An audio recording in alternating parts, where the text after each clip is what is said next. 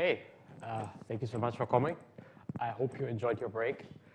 Um, and we continue with topology, and obviously I hope you will enjoy topology. Uh, so today is actually one of my favorite topics. I have plenty of favorite topics, uh, you will see that. Um, but this one is really cool actually, and we will spend the whole lecture of trying to understand it a little bit better. And it's this notion of a connected sum, but uh, so that's that's just a name, whatever it is. Um, but you really should think of it as like a version of multiplication. It's, it's, called sum, so it looks like a version of uh, summation, but it's actually a version of multiplication.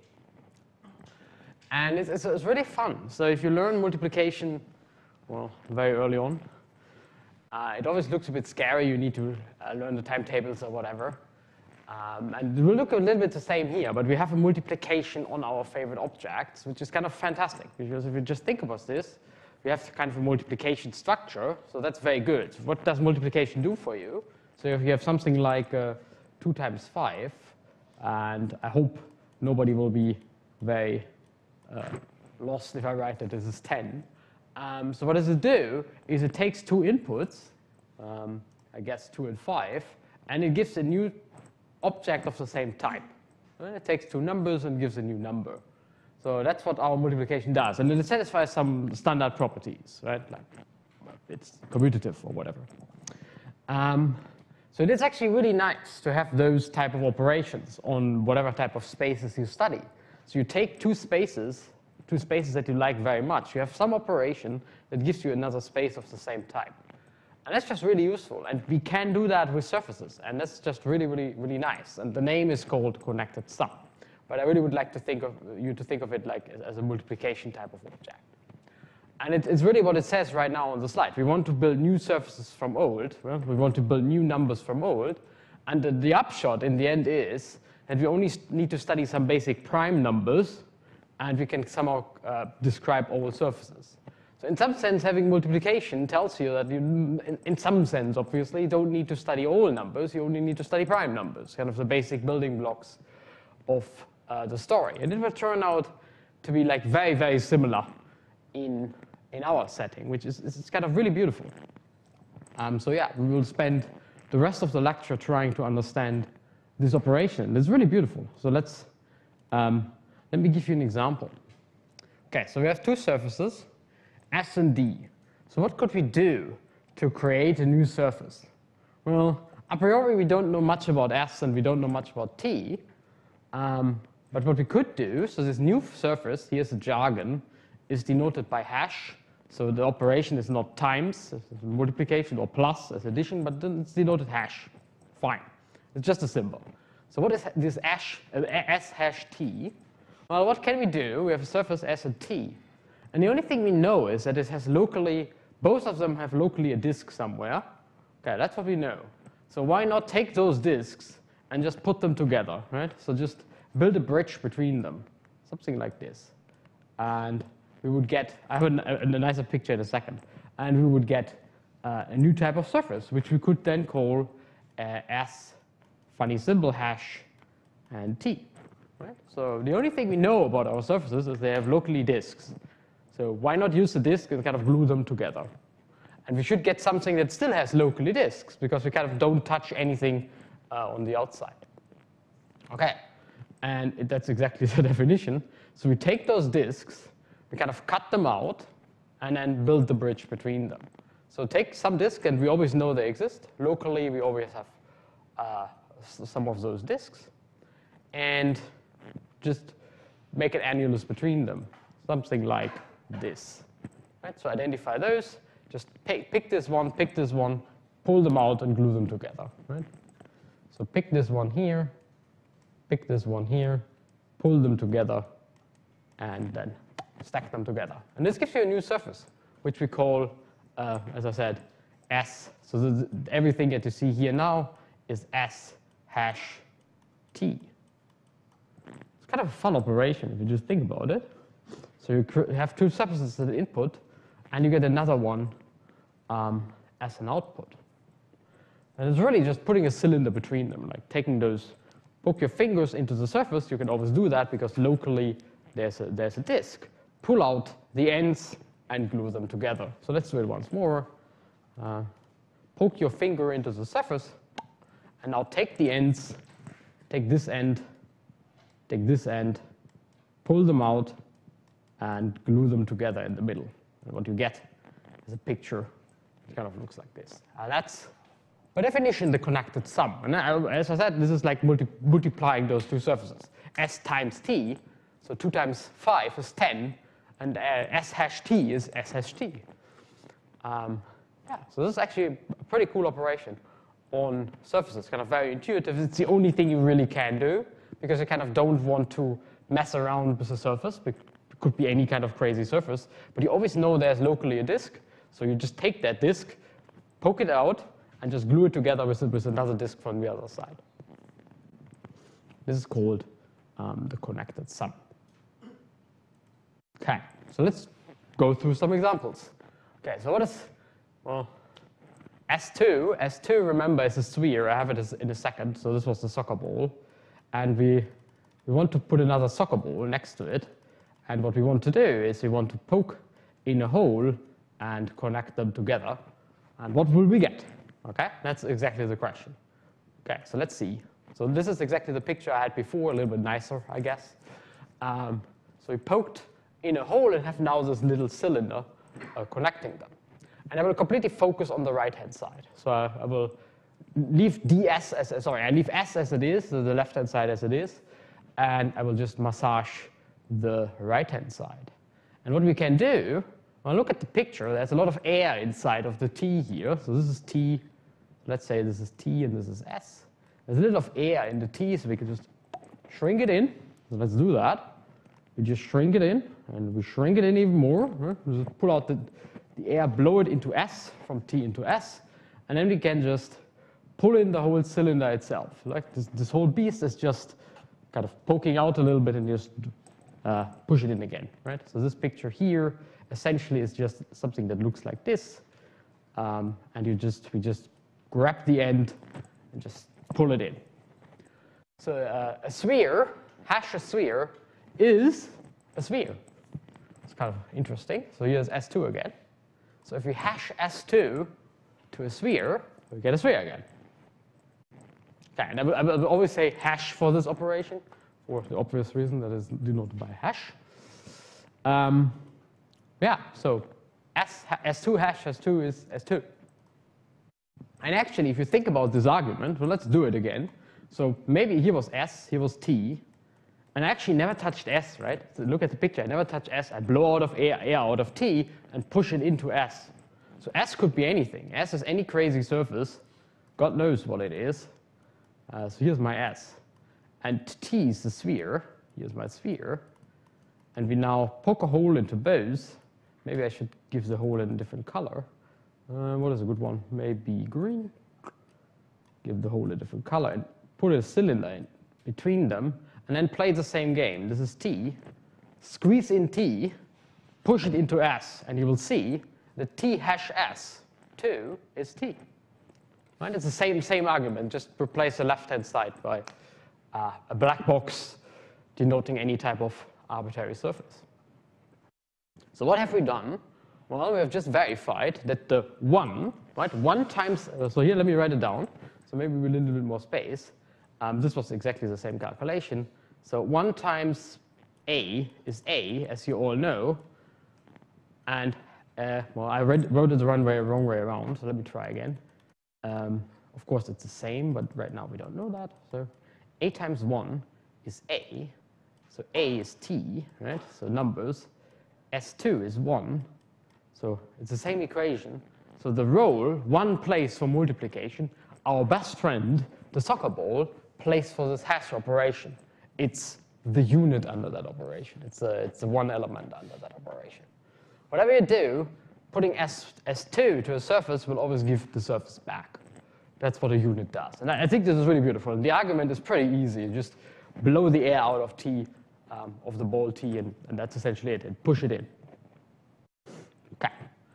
I know this feels a little bit weird, but remember when you learned multiplication for the first time, it also felt a bit weird. It's kind of the same. We're trying to set up a timetable here, uh, so we're doing some multiplication, and it turns out that the sphere is the unit element under uh, this hashy operation.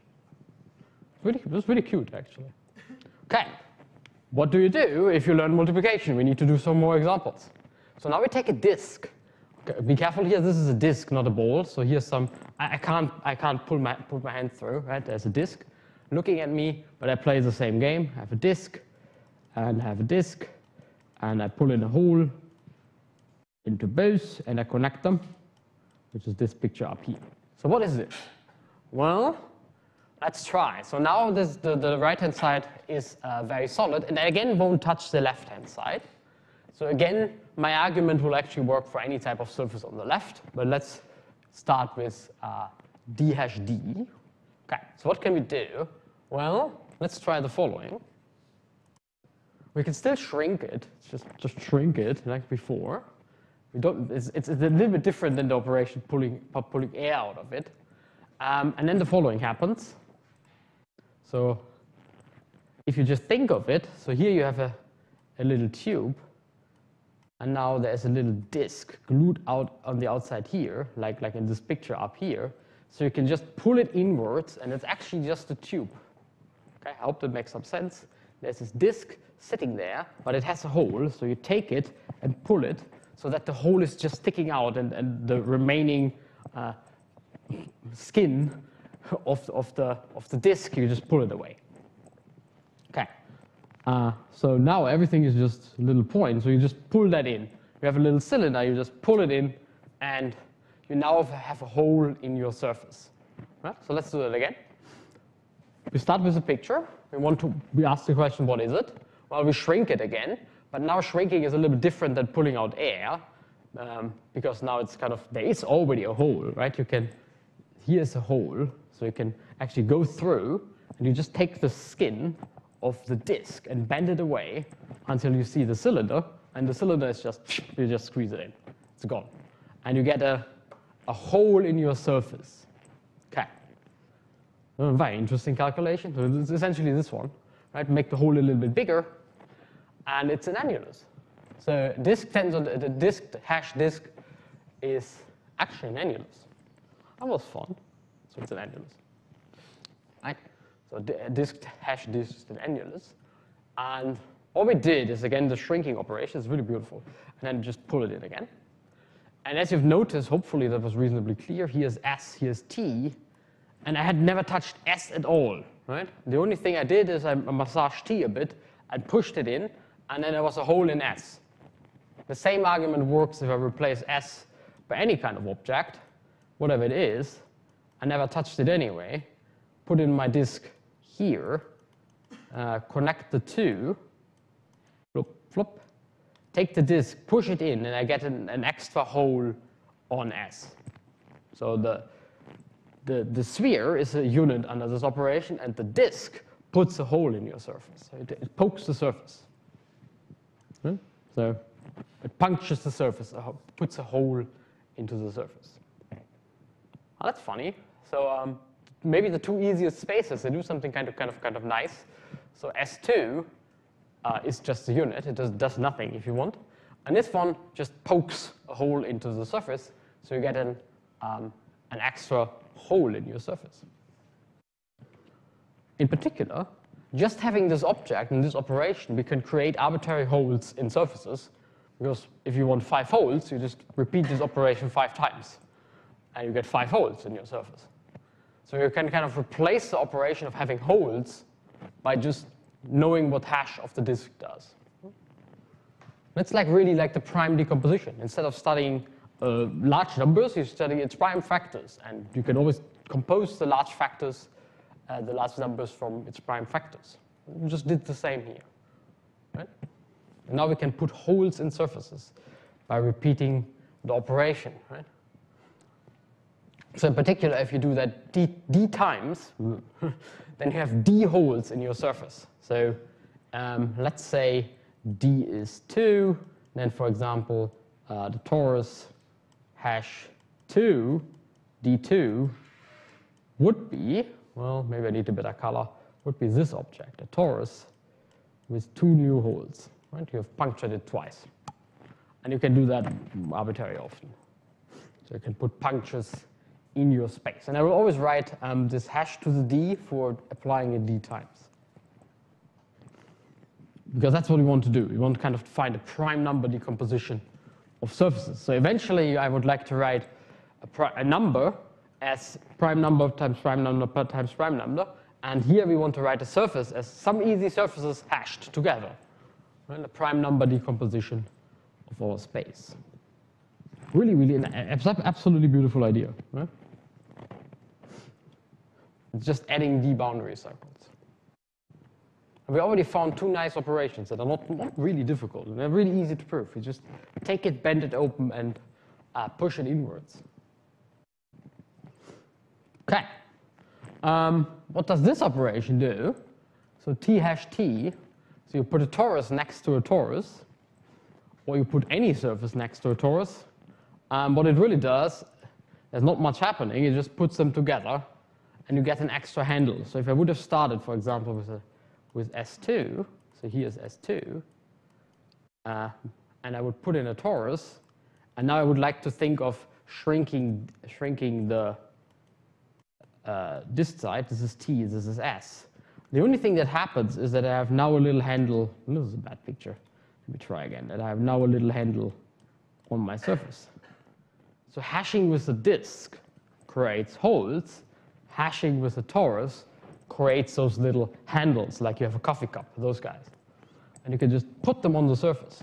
And you can replace your surface here on the left-hand side by anything. You just add those little uh, handles together. And this object actually has a name. It's called a double torus. In general, it will just be a d times torus, so triple torus.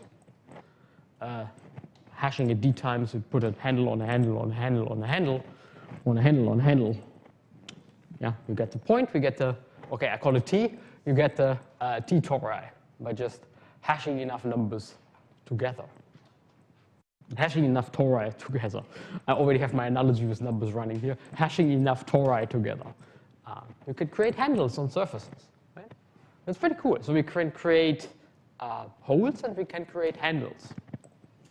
We, need, we only need one more, and that's kind of fantastic. So in this case, it will turn out that we only need three prime numbers, and the decomposition has only three factors, um, up to powers, right? You can also have um, Remember that in the prime number decomposition, you can also have powers, something like this.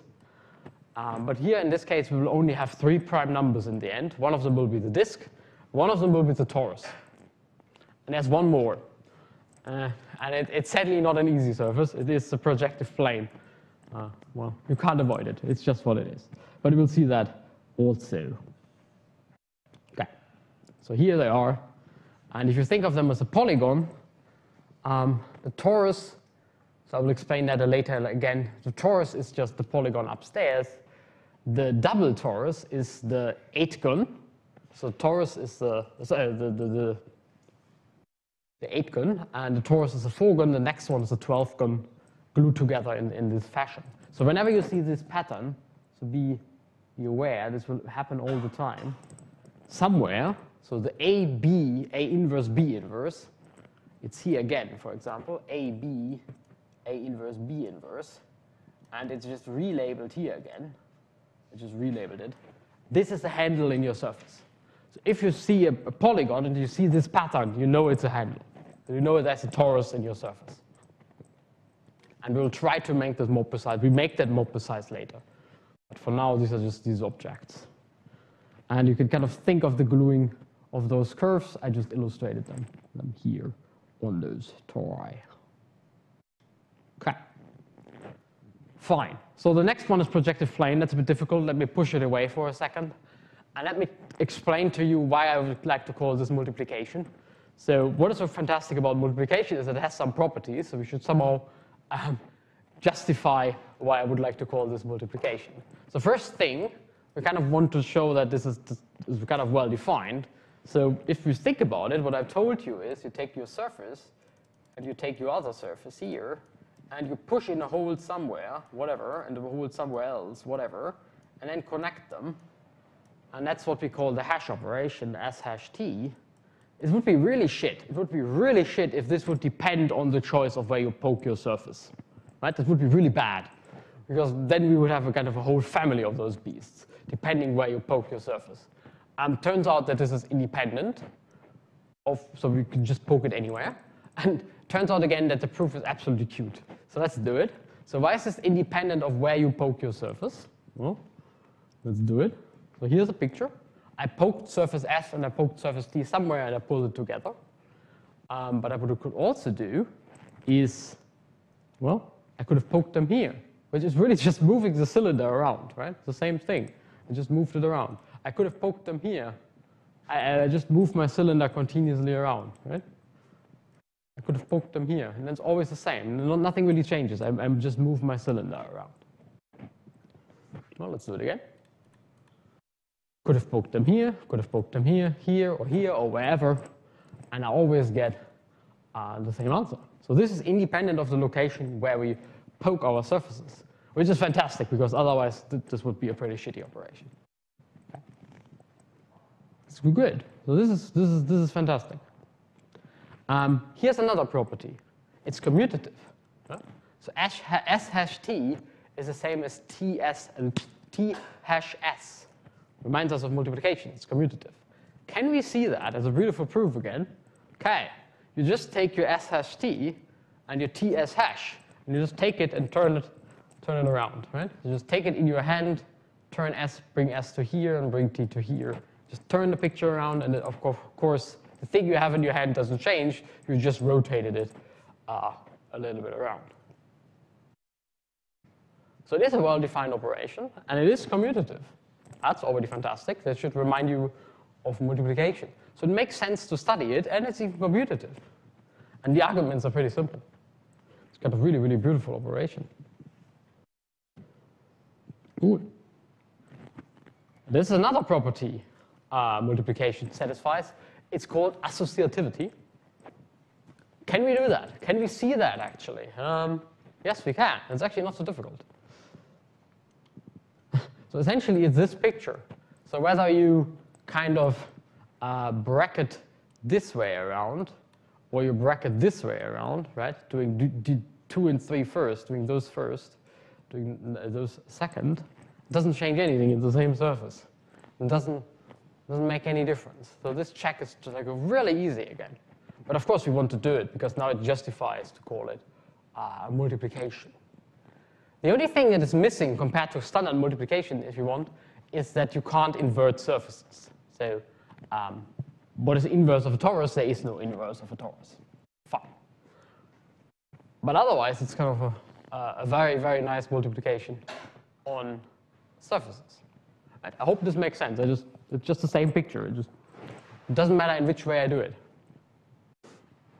Okay, so that's why I call this multiplication. Has exactly the same properties and arbitrary bracketings work in the same way. It's really, really beautiful structure. And we want to play our prime number game. And it makes sense to do it. It's like really like multiplication. Um, so in case, so this is one of my favorite multiplication structures ever. It's, it's even, somehow even easier than uh, multiplying numbers. As we will see, I said it again, um, we only have three prime numbers in this case, if you want. So it's kind of really simple in the end. Okay. Um, some people call this addition. That's why I call it, it's called direct sum, uh, connected sum. But whatever you prefer, whether it's addition or multiplication. But it really is some kind of structure of that form. Cool. Let's do another one. So can we prove that? Um, will be very, very simple. So how does Euler characteristic behave? Euler characteristic, I told you, is like really important. So we want to know how does it behave under hash. And it's very simple. It almost turns hash into addition, but there's this off, off by two factor. There's a minus two sticking around. And I will show you why we want this minus two. It actually really makes sense. Um, because if you, well, take S2 and hash it with something, whatever t, what you should get is t, right? So that's what we said. This is t. So the equation upstairs should spit out chi of t, right? And it does because chi of S2 happens to be exactly this number minus 2, uh, 2, sorry, not minus 2. So these two will cancel out. And the equation will be just S2 hash T is, uh, chi of S2 hash T is chi of T. So the minus 2 is really a fact, comes from this one being the identity. And we'll see that in the proof. Okay, but it's a really simple formula. It's actually pretty beautiful, right? Essentially what you would do, you would pull it out, but you have a, have a price to pay, and the price is not, not that large. It's just a minus 2 that you have to keep around. Cool. So how would you prove that? Um, so here's S, here's T. Essentially, I haven't touched S, and most of it stays what it is. So most of its polygon decomposition that we use to compute the Euler characteristic will just stay what it is. Similarly for T, and we can only focus on the local part that changes. So what we have done is we have put in a disk, uh, we've put in a hole, and you just do it as a polygon. So here's a hole as a polygon. Uh, it's just ABC, so three vertices, uh, and three edges, and one missing face, because I poked it out. Same on the other side. Well, that's what I just did. I poked it out. You do the calculation. So you poked out this guy, the 3 minus 3 plus 1. The missing, the plus 1 is the missing face. You do it on the other side, 3 minus 3 plus 1. And the rest is just uh, algebra autopilot. You just put it together. Whatever those numbers are, they will add up to uh, chi of 2. So the minus 2 really comes from cutting out those two disks. Right?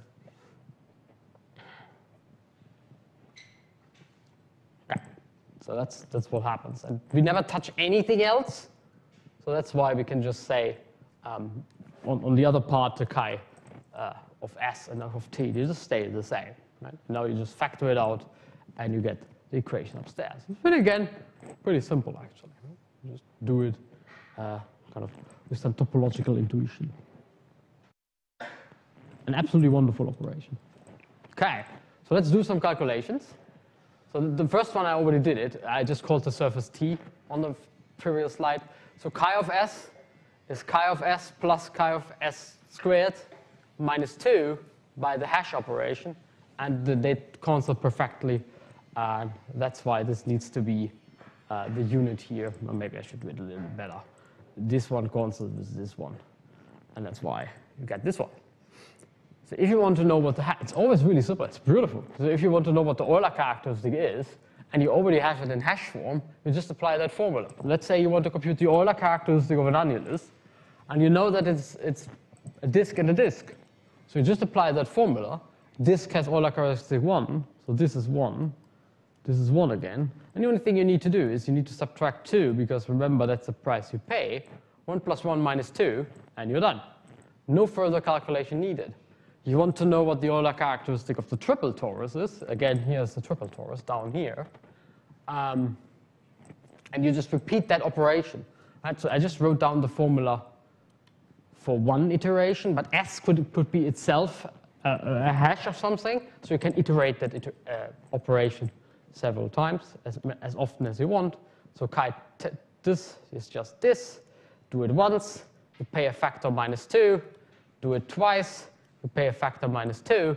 And Euler characteristic of the torus was 0. So, oh, I maybe should have written this. So this one is 0. This one is 0. This one is 0. So the only thing that remains is was supposed to be a 0. The only thing that remains is minus 2 minus 2 is minus 4. Right? And now you can imagine you have some large hash space, and you know the Euler characteristic for our prime factors, which you haven't, haven't quite determined yet, but they are the disk and the torus. The disk has Euler characteristic 1, the torus has Euler characteristic 0. You can just compute everything. Right? You can just compute the Euler characteristic from that formula. I hope that's reasonably clear. So the formula is like really, really powerful. You only always have to subtract 2. Remember always to subtract uh, 2 absolutely cute. Very nice. Cool. So I'm, i will finish off by showing you uh, how hash looks on polygons. Because we have those two pictures. We have surfaces, which I just draw, usually like, like this. Here, exercise, draw a surface. Here's one. Um, and there's a polygon decomposition, which, is, which are those flat pictures that you see upstairs. So remember, the torus is always um, this type of pattern, so A, B, A inverse, B inverse, no matter how you call them, whether they're called A or B or C or D, doesn't matter. So how does a hash operation on them look like? Well, let's have a look how it looks like. The torus torus should be, well, maybe I should have drawn a nicer surface. Torus torus should be double torus. Here's another surface. So let's see how that works. Bash. And what you do is, so here I have a hash symbol in the middle. Note that, here's a hash in the middle. Here's no hash anymore. So I already did the operation. And the only thing I did is I poked my finger here by adding an extra edge and I identify along that edge. Right? The edge E here is new. So really, if I exit here, I re-enter here, and this is really what is going on here is I have a little torus up here, and I have a little torus up here, and this little edge E is the boundary of this torus, and all we do is I hide the cylinder in the polygon, because coming out here, going in here, is the same as saying there's a connection between them, and that's essentially our little cylinder uh, connecting the two. So hashing on a polygon is also a very easy operation. You bring in an extra edge and identify along that edge. Okay, and if you now pull it together, well, there you go. We get the pattern we expect, the A, B, A inverse, B inverse, followed by the same pattern just relabeled, which was our um, double torus type thing. So one of those guys here is whatever, let's say the upper one, and the other one is the lower part of the picture, and they're glued together along E, and uh, this is a bad color, they're glued together, together along E, and E would be here, sitting around here. Right? That's all I did. I just turned the picture like a little bit to the side. Really easy. What a fantastic operation. It's also really easy on, on polygons. You put in an edge and collect along that edge. Yeah. And we can really do it anywhere.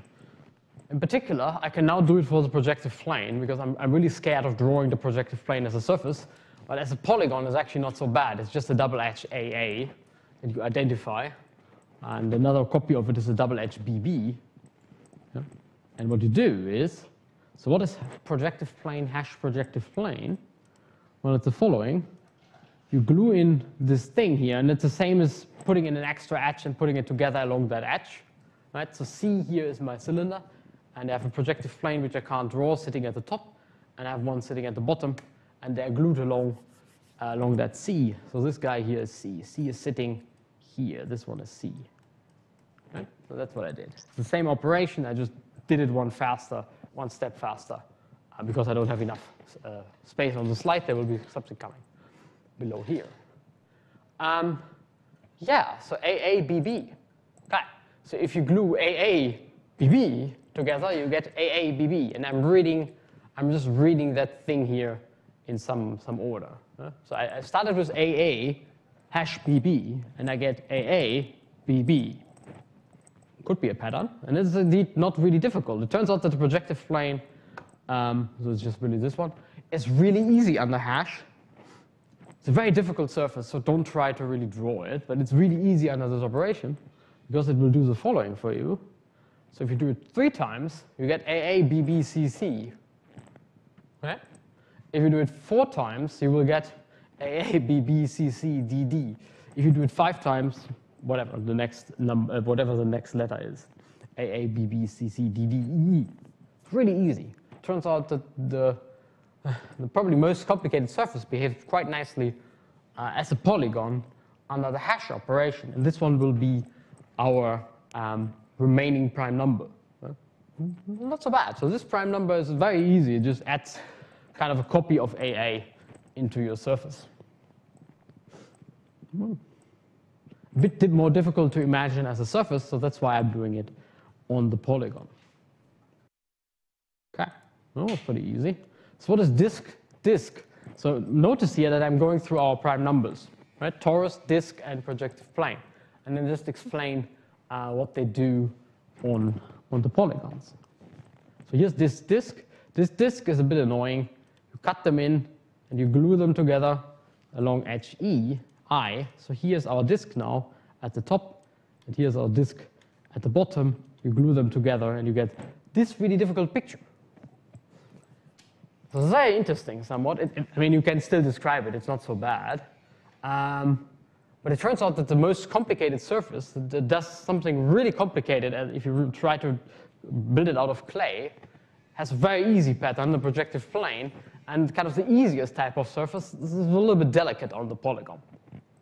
We can still describe it. It's not, it's not super terribly difficult. But anyway.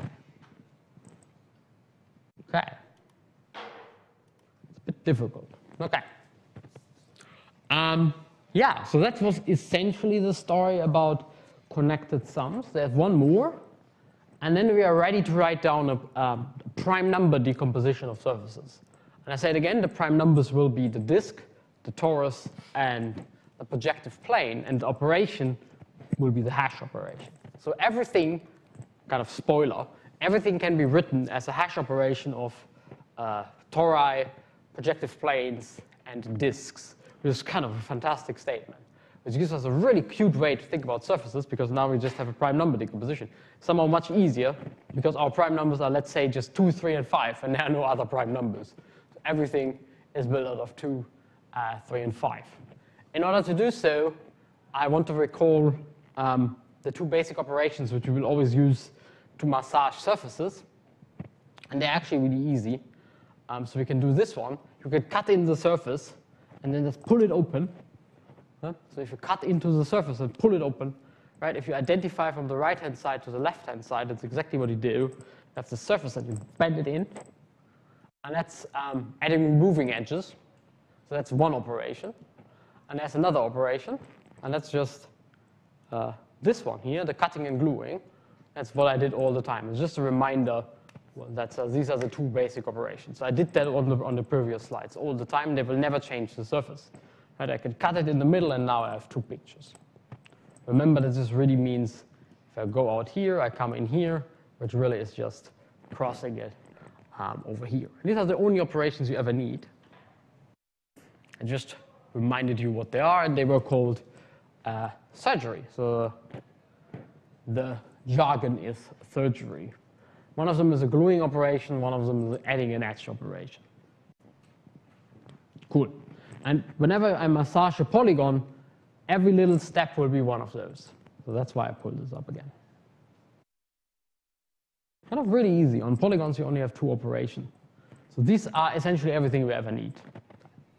If you're scared about polygons, um, I hope you're not, because they are pretty cute. Uh, but there are only two operations we will ever do on them anyway. So. It's not so bad. Good. Back to the main story. And I give this a lemma. I give this a formal lemma because this one is kind of really interesting. Um, the Möbius strip is actually hashing a projective plane and a disk together. So in some sense, a Möbius strip is a punctured projective plane because a disk, sorry, a disk puts a, puts a hole into your surface. And why is that interesting before I show you how that works? Why is that interesting? Well, because we said a surface is non-orientable if it contains a Möbius strip.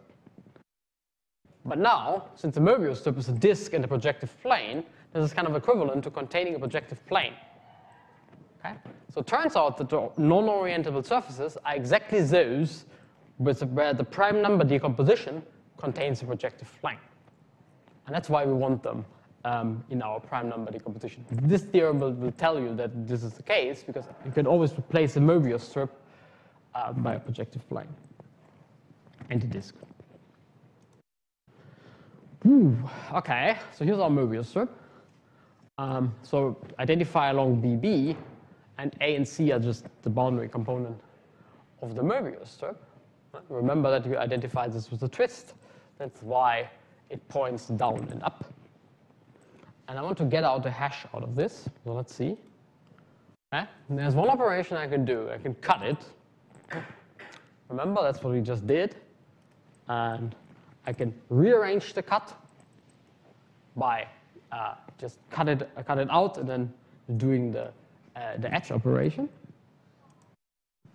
And if you just identify A and C with, with just put it together into one edge and call it E, right? So I just all I do is I say those two edges, they, they kind of glue together, and they, I could just call this one E, then that's what I get. And That's a projective plane with a boundary component. So here's our projective plane. Remember, that's just two symbols in a row, and it has a little uh, boundary component that's called E.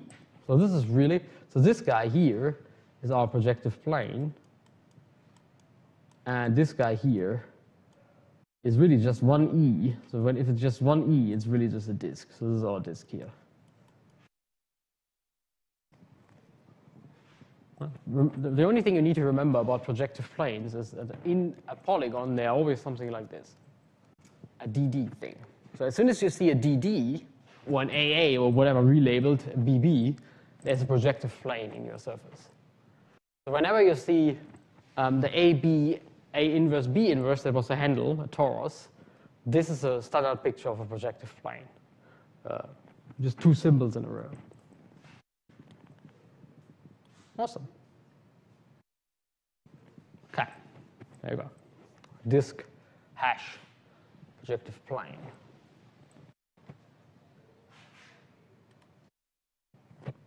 Well, that's what's already written upstairs, but what is the point? I say it again. Every non remember non-orientable, recall non-orientable was defined by containing a Mobius strip, but now we know that's the same as containing a projective plane in a certain type of way because the Mobius strip is just a projective plane with a hole. So we can write for every, this is really saying, if you think about it in terms of the, uh, the prime number decomposition, this is really saying as soon as you have a non-oriented surface, it contains a projective plane uh, in its prime number decomposition, and as soon as you have something that contains a projective plane in its prime number decomposition, it's non-orientable. So this is an if and only if, actually. So the projective plane is our is our witness, our test candidate for uh, non-orientability. So this is really important. Yeah. The projective plane, you somehow can't avoid it. I'm, I'm very sorry. It's just really difficult. Um, not on the polygon. I always like to stress that on the polygon is really easy. It's just two numbers in a row, AA, BB, DD, whatever it is. Um, but as a surface itself is quite difficult to imagine, but it, it's kind of really important. It, it picks out exactly those non-orientable ones. And these are the crazy ones that only exist essentially in four space. And kind of is somewhat explained by this sentence here, because the projective plane is so difficult and it needs actually four space to exist. There's one more, and then I, I'll let you go. And this one is like a lot of fun. So the Klein bottle itself is a hash of a projective plane. Right? So the Klein bottle in its prime number decomposition would, is projective plane times projective plane. Essentially what I'm writing down right now are um, the prime number decompositions of, of our favorite surfaces. So we know what the annulus, I had the annulus, it was disk disk, uh, the torus is a prime number, uh, I had the Mobius strip, that's this projective plane. And here's a Klein bottle, it's projective plane, projective plane. And all we ever need to know in the end is the prime number decomposition of a surface. Okay, so what can we do? We just try it. Um, so let's try. So here's our Klein bottle. Um, remember, this is this pattern. So AB, A inverse B. Not quite the torus, because B and B are twisted here. That was the Klein bottle where you took the annulus, wrap it around, and then identify it twisted.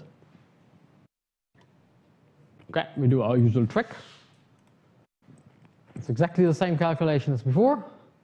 And you can already see what's happening now. We have an, a, an AA and a CC, and each one of them is a copy Uh, of the projective plane by just rearranging. And I only use the, the basic circuit treasury operations that we've seen before. So the Klein bottle is twice the projective plane. Prime number decomposition of number 4 is 2 times 2. Prime number decomposition of Klein is projective and projective. Oh, very beautiful. Um, oh, I have one more, and then, then, then you're good to go. Promise, this is the last one. Um, we'll see. okay, uh, torus hash projective plane is Klein bottle hash projective plane. This one is weird. This will bother us for a while. Um, because it's somewhat saying we need to be careful at one point. So those two things, well, torus is supposed to be a, um, so let me just write that out. So here you have torus and projective plane. Okay. And on the other side, you essentially just have projective plane three times by the lemma from the previous, let me just pull it up again, by this one here, right? Klein-Bottle is just two projective planes. So this tells us that my analogy, this is supposed to be a torus, this tells us that my analogy is not quite right. It's not quite a prime number decomposition because there's this funny, stupid fact that 2 times 3 is the same as 3 cubed. Right? That's a bit, little bit strange.